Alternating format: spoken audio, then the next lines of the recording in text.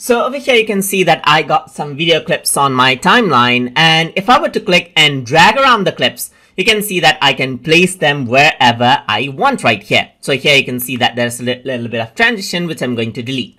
So if I were to click and drag the clips out, right around when it reaches out the close part, you can see that it snaps into place. So it's not very, very close, but it snaps into place. And this feature allows us to make sure that there is no gaps whatsoever in between the clips.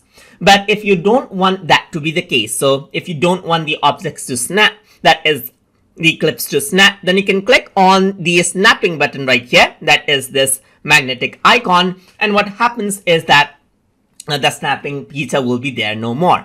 So let me just go around and zoom in. And if I were to click and drag, you can see that it snaps no more. You can just slide right out. And even there, um, even if there is a few frames of gap right here, it does not snap together. You can click on the um, uh, snapping icon right here. And then what happens is that it snaps into place again when, when this is turned on. So snapping enables you to make sure that there is no gaps in between clips when you're working visually. But if you don't want that and if you uh, want to have control over each like small frames as well, then you may want to consider turning off snapping. So that is how you can work around with the snap option inside of Shotcut. So hope you guys learned something as always. And as always, please like, comment, share, and subscribe.